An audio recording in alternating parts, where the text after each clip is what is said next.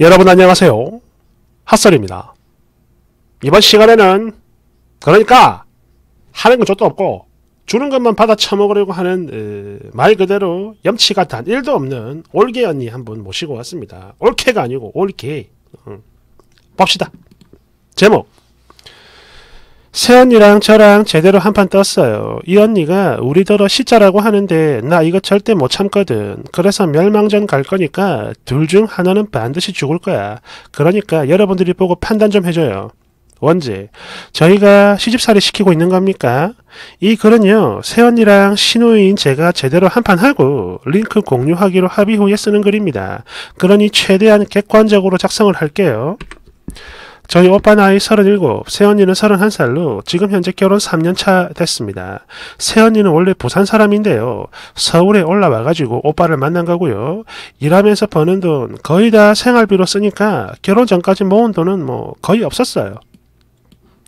그래도 저희 부모님은 아이고 나이도 어린 게 서울에 혼자 와서 자리 잡는 게 너무 이쁘다. 이러면서 모든 걸 다 이해하고 엄청나게 많은 지원을 해줬습니다. 우선 집값으로 4억을 지원했죠. 거기에 오빠 돈 합쳐가지고 7억 정도 되는 신혼집을 마련했는데요. 이거요, 오빠가 살던 기존 집 전세 빼서 합친 거고요. 그 전세도 사실 저희 부모님이 해주신 거니까 순수하게 오빠 돈은 1억 정도만 들어간 거고요. 즉, 다시 말해서 부모님 돈 6억에 오빠 돈은 1억, 그리고 새언니 돈은 1원 더 없죠. 음. 거기다 오빠가 쓰던 냉장고, TV 등 그대로 다 쓰고 딱 하나 침대만 바꿨습니다. 네 맞아요. 새언니가 침대랑 이불 하나 사왔거든요. 하지만 저희 부모님은 절대 그 어떤 내색도 안 하셨고 모든 걸 다 이해했습니다. 그리고 예단 역시 일절 안 했는데요. 이거는 새언니에 의해 오빠가 먼저 제의를 해왔고 저희 부모님도 그냥 쿨하게 오케이 하셨던 겁니다. 그러자고. 그리고 저희 집은요, 제사가 없습니다. 없어진 게 아니고요. 그냥 없어요. 제가 태어나가지고 제사를 지내는 것 단 한 번도 본 적이 없습니다. 물론 앞으로도 마찬가지 영원히 없을 거예요. 새언니는 결혼하고 약 6개월 만에 임신을 했습니다. 그리고 이 소식을 전해왔을 때 축하한다는 말과 함께 바로 천만 원을 계좌 이체해줬고요. 이후 산후조리비 등등등 그에 들어가는 모든 부대 비용 전부 다 당신들이 결제를 하셨죠. 거기다가 출산 후에 고생했다며 따로 500만 원 챙겨줬습니다. 또 그 외에 기타 뭐 새언니 생일이나 애 돌잔치 등등등 그런 기념일에 맞춰서 저희 부모님들 지출 정말 정말 많이 하셨고요. 그리고 그러면서도 단 1도 아까워하신 적이 없어요. 왜? 자식이니까. 그냥 다 퍼주신 거죠. 그런데 이런 저희 부모님에게 새언니가 상처를 주네요. 이게 진짜 맞는 건지 여러분들이 좀 봐주세요. 첫 번째, 평소 연락 아예 없어요. 뭐 시집살이처럼 안부 연락 같은 개념이 아니라 그냥 없어요. 작년 추석 때도 연락이 없었고 올 설날도 당일까지 쭉 연락이 없다가 저녁에 띡 한 통 하네요. 그리고 어버이날 엄마 아빠 생신 당연히 연락 없습니다. 단 한 번도 없었어요. 그런데 돈 보내는 날에는 감사해요. 이런 연락이 오네요. 두 번째, 모든 상황을 부정적 그리고 예민하게 받아들입니다. 예를 들어서 결혼 초에 가족 여행이라고 저희 부모님이 부산에 있는 어떤 호텔을 예약하셨거든요. 참고로 이거 새언니 오랜만에 가족들하고 시간 보내라고 일부러 부산으로 잡으신 겁니다. 오직 며느리를 위해서 그렇게 우리랑은 딱 1박만 하고 나머지 그 기간 동안은 두 사람만 따로 부산에 더 머물며 쉬다가 새언니 친정 가족들과 놀다 오라고 저랑 부모님은 먼저 올라오기로 한 거죠. 그렇게 당신 며느리 생각해가지고 일부러 부산으로 잡은 건데 이때 새언니가 완전 띠꺼운 표정과 말투로 부산요? 그럼 제가 가이드인가요? 딱 이러는 거야. 미친 거 아닙니까 이거? 하지만 저희 엄마는 나쁜 뜻으로 생각하지 않고요. 아이고 그게 아니라 코로나 때문에 못 돌아다니니까 그냥 호텔에서만 쉬다가 오는 거요. 라고 상황 설명을 했지만 아니 사실 이걸 설명해야 한다는 그 자체가 어이가 없고 웃겨. 그런데 이 언니가 또 그 특유의 표정과 억양으로 뭔가 본인 마음이 안 들 때 나오는 그런 게 있어요. 아니 일부러 부산 가는 건데 그러면 제가 어디라도 모시고 다녀야 하는 거고. 그게 가이드죠 어머님 이딴 헛소리를 시전합니다. 물론 그 이후로도 저희 엄마는 절대 그럴 의도가 아니라며 좋게 좋게 설명을 했으나 소용이 없었어요. 결국 여행이 취소됐고 이때부터 저희 부모님 마음 크게 다쳤죠. 그리고 저는요, 제일 기분 나쁜 게 바로 이번 명절입니다. 전처럼 이번 명절에도 마찬가지 연락 한 통 없다가 당일 저녁 딸랑 전화 한 통 한 건데, 여기서 더 큰 문제는 이때 저희 부모님한테 한다는 말이, 아니, 아들한테는 시키지, 왜 나한테 이런 걸 시켜요? 아니, 이거 정말 미친 거 아닙니까? 1년 365일 중에 돈 받아 처먹을 때 빼고 단 한 번도 전화를, 안, 아니, 그걸 떠나서 누가 시켰어, 시키기는. 그리고 그런 거 떠나서요. 좀 치사하지만 우리 부모님이 시부모 노릇을 이 정도로 했다면 본인도 기본적인 며느리 노릇을 해야 하는 거 그게 맞는 거 아닙니까? 혹시 제가 틀렸나요? 여하튼 오빠 혼자 와가지고 저녁 먹고 돌아갔고요. 새언니는 집에서 쉬고 싶다 말했다네요. 같은 서울이니까 되게 가까운가 봅니다.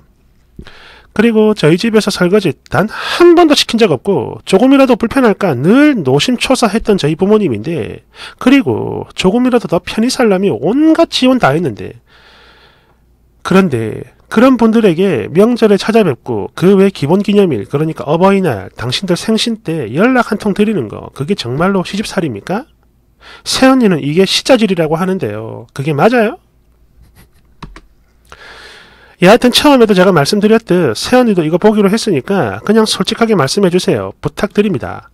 뒤에 후기 있습니다.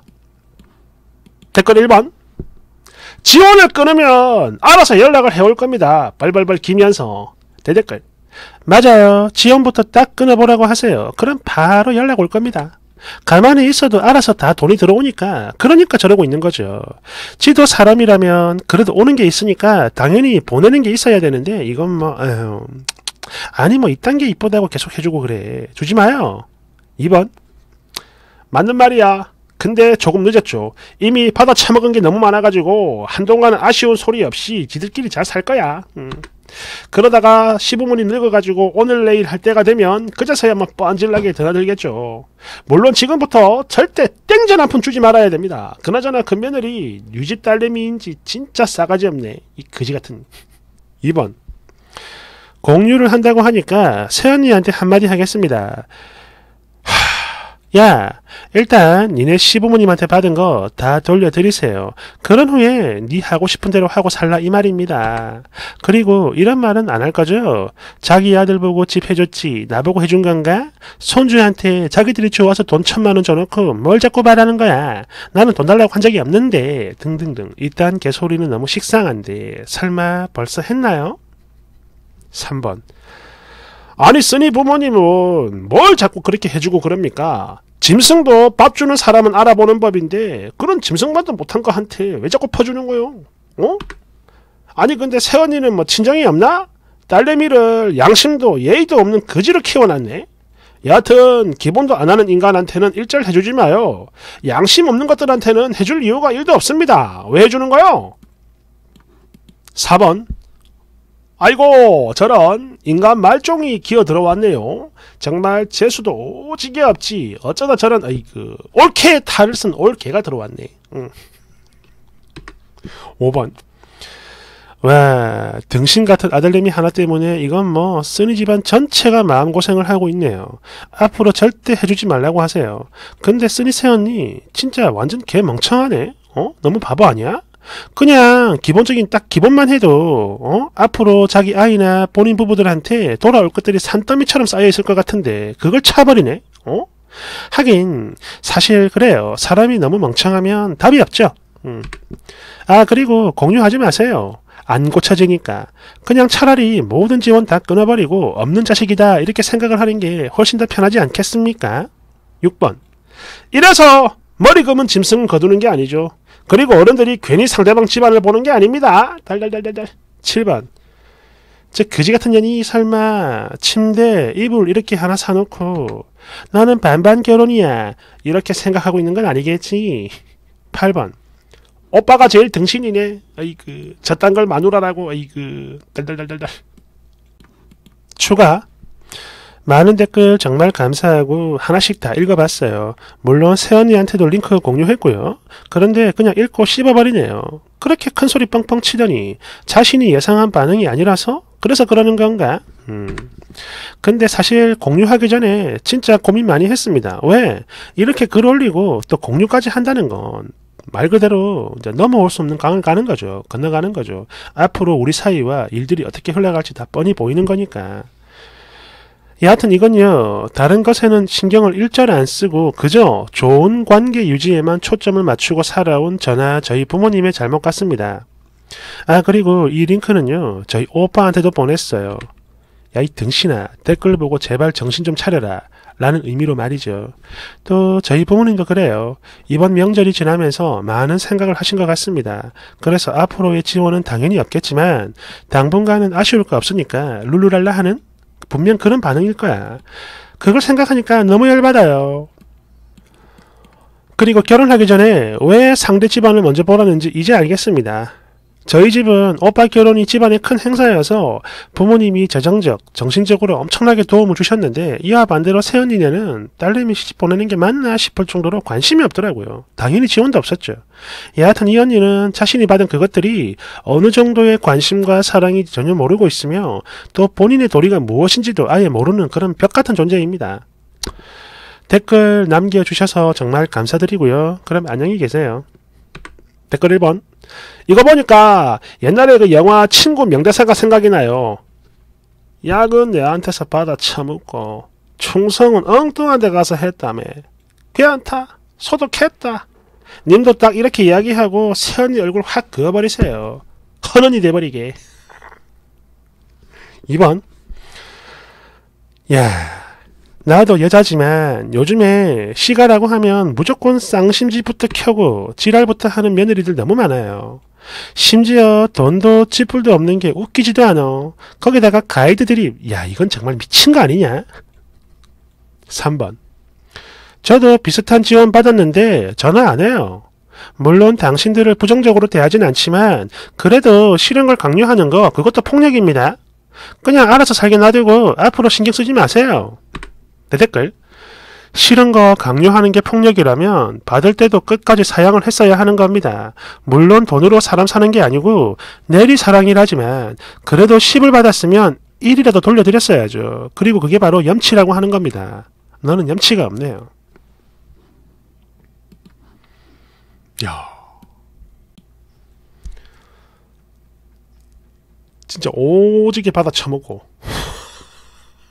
아니 그래 뭐 평소에 뭐 전화 안 하는 거는 그렇다 치더라도 야뭐 명절에 안 가고 뭐 생일 때도 안 가는 거 아닙니까 전화도 안 한다는 거 보면은 야 이건 너무한 거 아닌가 어. 감사합니다 응?